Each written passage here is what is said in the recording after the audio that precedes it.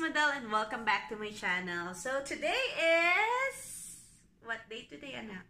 Today is April 5, 2019 and it's currently 10.40 in the morning. So kagigising lang ng, namin ng aming anak, ng aking anak.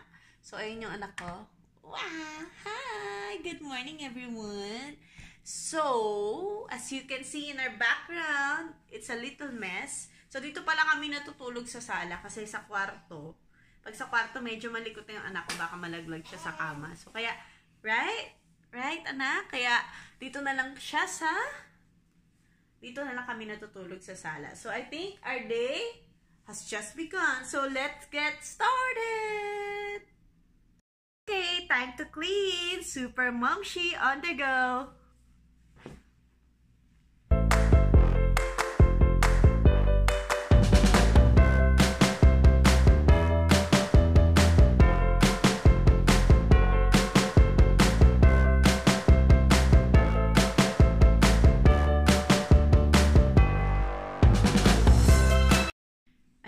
Ayan, so natapos na natin.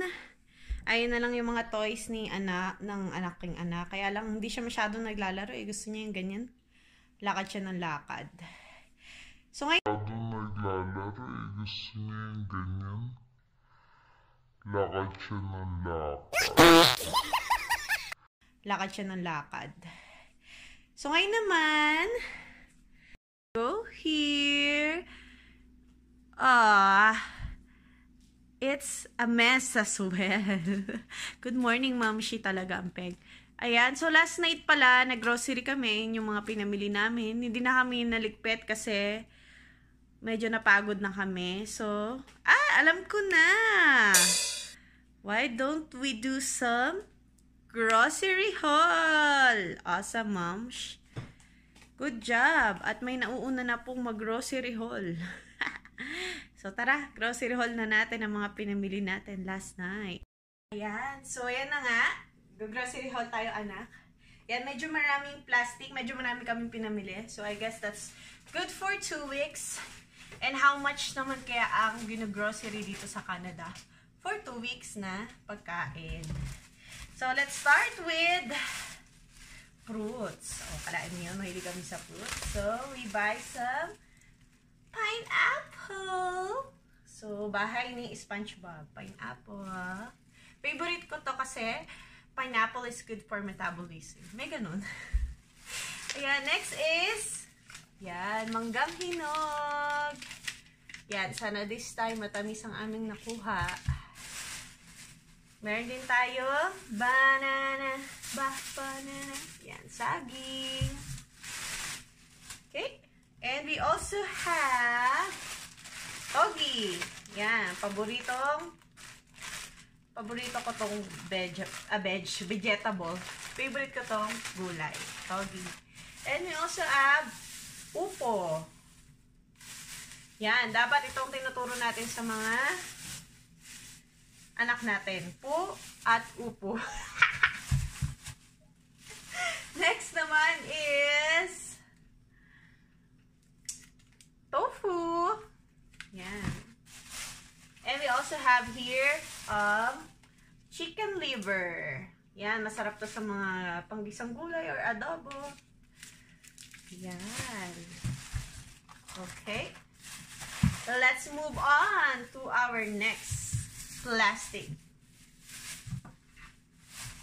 Okay, wait just a sec. Okay, for our next plastic. Ito naman yung mga nabili namin sa sa World World Food. Kasi merong ditong World Food. Kasi syempre, pag namimiss mo na yung mga food sa Philippines or kung saan country ka pa naka-base, meron tayong World Food. Are you having fun? Ayan. Sige. So, we all, we have Marca Piña Toyo. Diba? So, kung gusto mo ng lasang Pinoy, ayan. We also have Mang Tomas. Diba? Parang nasa, ano, sa Pure Gold lang tayo na grocery. Meron tayong Jupran, ketchup. And we also have here, Carnation Evaporated Milk. Kasi mahilig kami gumawa ng ano ng mga melon juice, buko juice, ganyan. Kaya kailangan laging may milk. Then, we also have some pepper.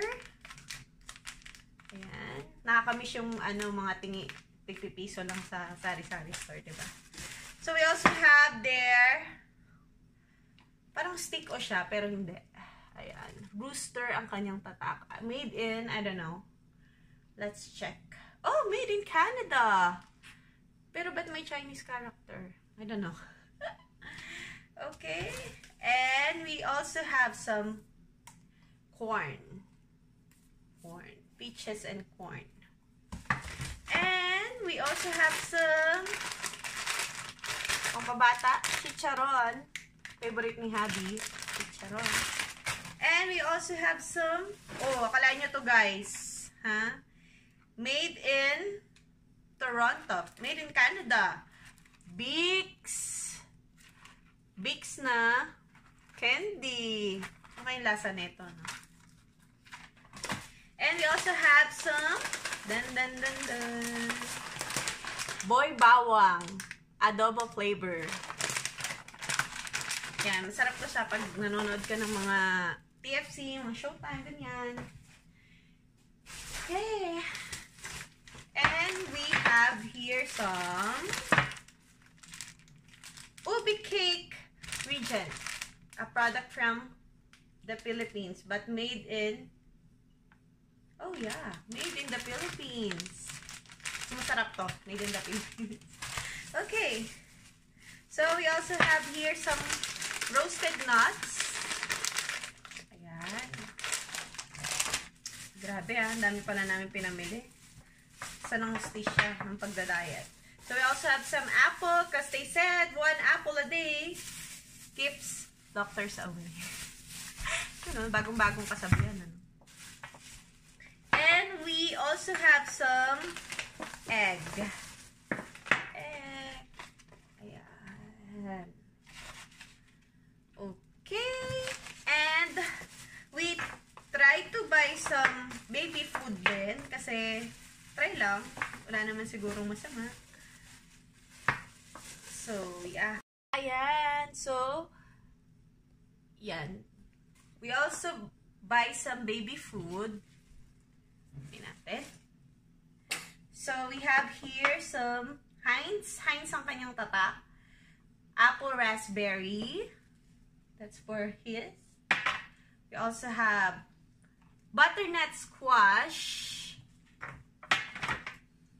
Corn, cream corn. Beef with broth. We also have sweet potatoes. And we buy him an apple juice as well. Ayan. Ang cute, diba? May lasa nito. And, ito pa nga. Ang favorite ko sa lahat, pero hindi hindi siya same tatak, pero pwede na rin. Ah, paborito ko kasi sa Pilipinas yung Yakult. Ever since nung bata ako, di ba napakamahal na. Kamusta mo yung Aldab na shirt ko? Aldab. Okay. We also have here Wahaha. So, it's not Yakult, it's Wahaha. So, we buy three of this. Kasi masarap siya. Hindi nga lang siya singlasa ng Yakult, pero pwede na rin siyang pagtsagaan. Lalo na kung namimiss ng dila mong Yakult, right? So, moving on. Our next plastic from Superstore. So, we have some buttercream. Yan. And we also have some clover chips. Yeah! We have some banana bread made in Canada. Of course, nandito tayo sa Canada. eh. Made with the bakers of Canada. And we also have some sponge cake. So, parang mamon lang siya. And, oh, another regent. Hindi ako makain ng mocha. Okay. Mm. Alam na this kung. We also have some tasty. Tasty. Sa Pilipinas, hindi ako makain ng tinapay, pero dito natutunan ko yung kainin. Kasi dati, dito laging on the go ka. Kasi pagkagaling mo sa trabaho, minsan, ikaw pa yung magluluto. So, kailangan, meron ka ng mga, yung pang panawid gutom ba? Ayan. So, we also have some steam fried noodles. Siguro gagawa yung hobby ko ng fried noodles. Yung nabibili sa Pilipinas, yung may mga teriyaki sauce niya.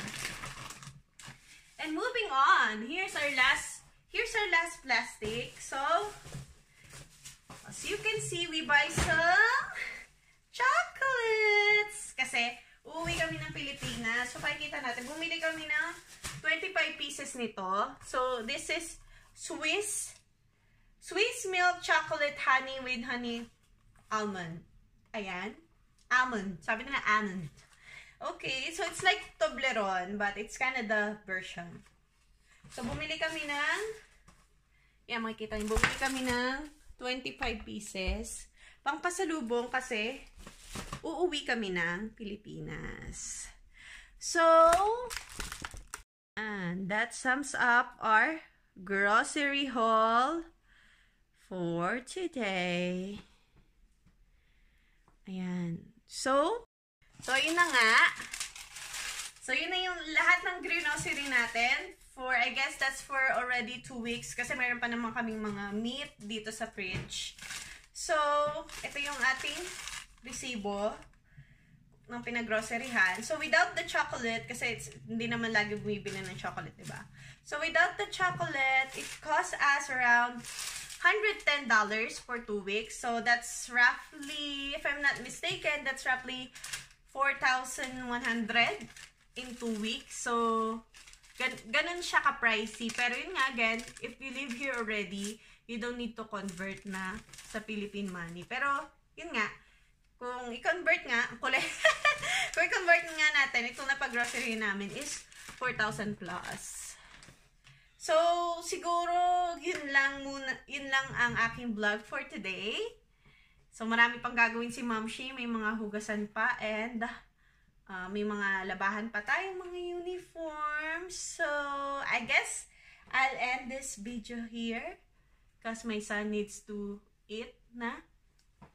So, maraming salamat po sa lahat ng nanood and again sa mga sumusuporta sa aking YouTube channel. So, kung meron kayong mga request na gusto kong gawin pa sa aking channel, mga challenges. So just comment down below. And again, thank you for watching. Please don't forget to hit the like and subscribe button. Bye-bye!